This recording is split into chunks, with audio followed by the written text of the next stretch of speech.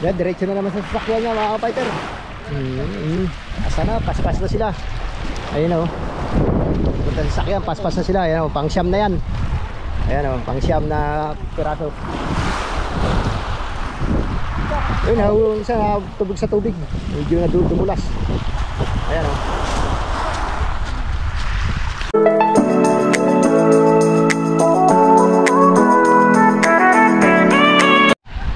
Yan mga kapighter, nag-uumpisa na naman magbaba itong isang bakang bagong dating din. Ang balita ko po dyan ay may 10 tuna. Ayan mga improvise lang po muna yung ginagamit nilang pambaba. At wala silang series. Kaya mga kapighter, medyo lumalakas na ang hangin dito. Ito na po ang panahon namin dito. Pagdating ng okto ng mga bear. Iba na po ang hangin dito, mga balat na. Balat ang tawag namin, amihanin. Kaya ako na lang po, pasingit-singit na lang po ang paglaot dito pag panahon na ng ganito.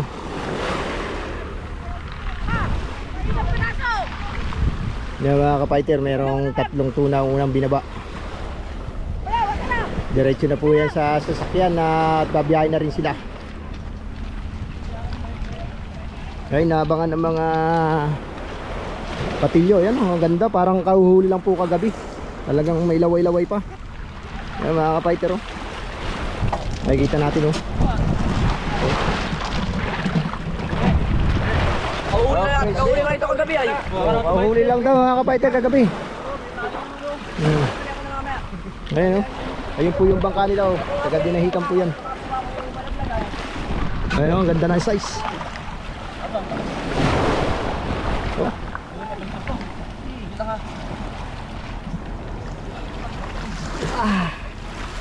Ayan mga kapaiter, bago lang po yung mga batilyo. Yung mga dating batilyo ay binagyo po ang bahay. Binagyo po ang bahay nila kaya hindi sila makapagbatilyo. Ayan, napakalaki. Ah, bade. Ayan, baka pasok na maigi. Kulang 60, ah, baka si- 50 yan. Baka pumasok. Punggok eh. Punggok. Ayan, punggok eh. Pag sa punggok oh. Ayan, medyo...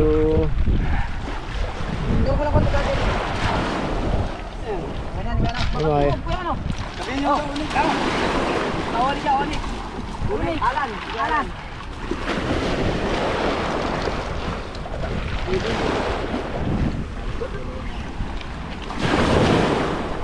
Yan, yung mga batilyo, bago lang. Ayan, babalik na naman po yung one. Ayan, yung maliliit naman po. Ayan, may dalang dalawang cooler para sa maliliit na isda, yung gulyasan, tsaka yellowfin. Kaya saksiyan din po natin yan maya maya ay bababa nila rito at abang-abangan lang po natin at hindi naman po tayo makakyat at medyo may hangin hangin baka tayo tumawag sa improvised na balsa nila. Kaya mga kapighter, ah, binababa na naman yung tuna. Galing po doon sa bangkang dumating. Kaya pang, pangalawang baba na po yan, bali 10 tuna raw po yan binababa na yan mga kapighter. Mga kapighter, malapit po siya. Yan ah, talagang hindi napapagod yung bata, kanina pa yan. Binalangoy lang niya yung, ano, yung improvised na balsa, doon nakasakay yung mga big tuna. Ayan, kita natin mga kapaitero talagang mga press. Ayan, press siya. Ayan, oh. Tatlo na naman yan mga kapaiter. Pang anim na piraso. Meron pang meron pang kondun. Apat. Saka yung maliliit na kasamahan nila.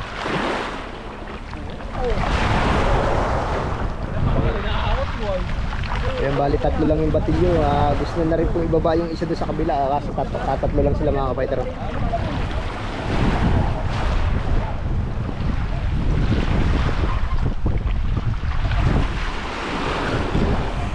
Mga kapaiter, medyo ka na yung hangin. Lakas. Kaya, ah, ayun, pinasan na ng isa.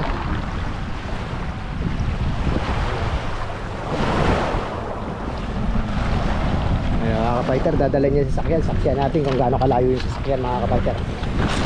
Ayun, bari si mga ka, JTV kasama ko. Yan, ito. Saksyan natin sa bangka to, ay sa sak, sasakyan to dadalhin.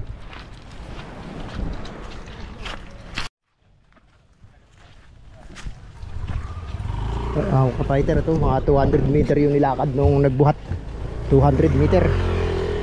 Ah, Ito, dinadala na diretso sa sakyan. Oh, 1T, ay L1. 37. 137. Wala na niyaw. Yung mga ka-fighter yung ano, mga tuna. Sinasalansan na. Yung mga ka-fighter, oh, dyan ang tuna. Oh. To pabiyahe na rin. Yung mga ka-fighter, oh, parating na rin yung may buhat na dalawa. Ayun. Kalalaki ng tuna. Ayun, oh, mga kabibilog. Sabi nga ng isang batilyo, kabibilog. Oh, B1. May pa isa, oh. Sigurado ka? B1, 44.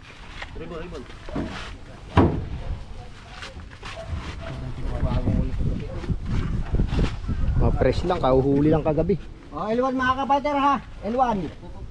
Wag, dinagtuhuli yung dala nyo ah. 44. Kapatid. Ah, back to bangka ulit tayo mga kapighter.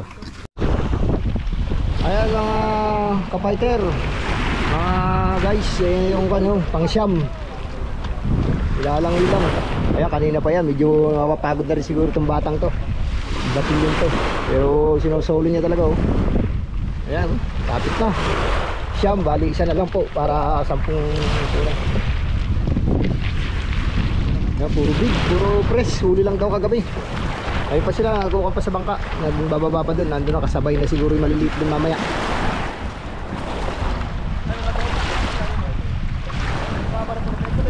Ayun. Kaya sa bayan na nagbababay dalawang bangka. Oh, laki mga kapighter. oh. Yun, may isa pa doon. Punta natin mamaya yun. Ah, kapighter, talagang big big to na.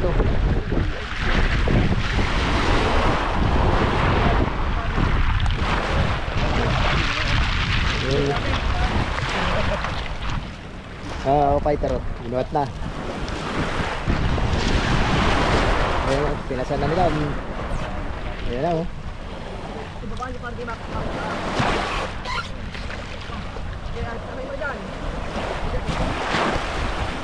Yan, diretso na naman sa sasakyan niya mga kapighter.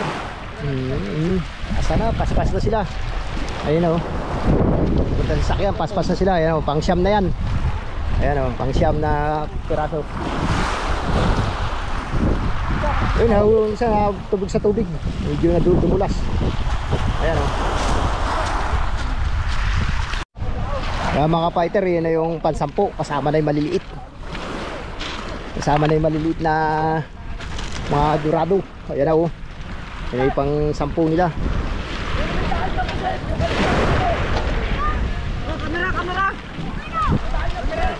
Ayan o, nakahingi siya sa bangka. Ayan o. Pangulam. Ayan o, yung nanalubong siya, nakahingi siya ng pangulam. Oh. Ayan o. Oh, ayan o. Oh. Kalima ko dala. Ayan mga kapighter oh. Ayan yung pang sampung tuna kasama yung mga dorado. Oh. Puro dorado ang huli. Tsaka may ilang maliliit. Ayan. Tulingan. Dorado.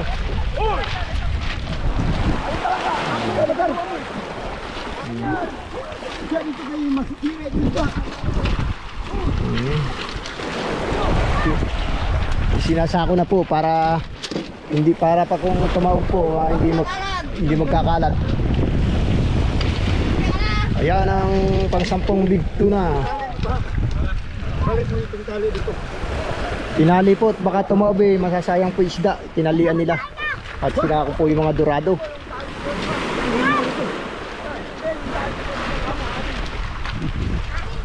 Ayun, pinasan na. Ayun, palakas talaga ni Mamot. Iba talaga si Mamot. Ayun oh, binigyan ni Kapitan si Mamot. Iba talaga si Mamot. Iba si Mamot. Ayun oh. Uh, bait talaga si Kapitan oh. Pero Tinanong yung mga mananalubong.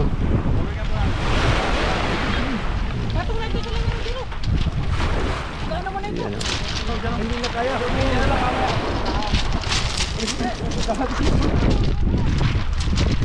Yan, dadalhin na doon at kikiluhin na yung mga mga tuna. Ay, ito mga ganda lalaki. Ayan po, anong klaseng tao po yan? Ayan. Ito, bigyan ako. Binigyan din, kalakas talaga ni Paring Mar. Iba talaga ito. Ah, bigyan ako ng aking kaibigan.